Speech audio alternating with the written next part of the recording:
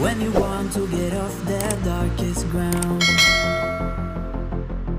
But gravity pulls you straight down.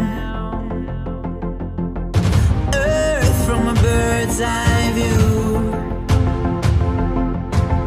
You should grow feathers and see this too. When you want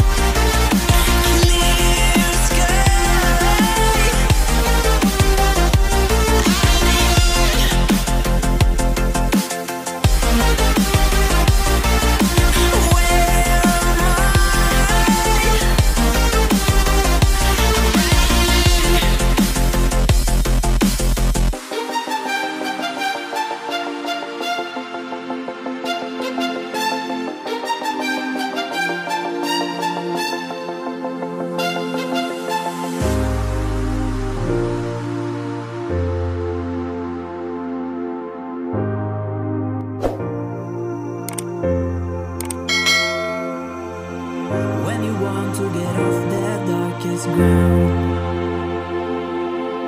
But gravity pulls you straight down.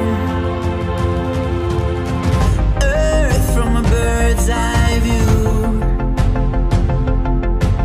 You should grow feathers and see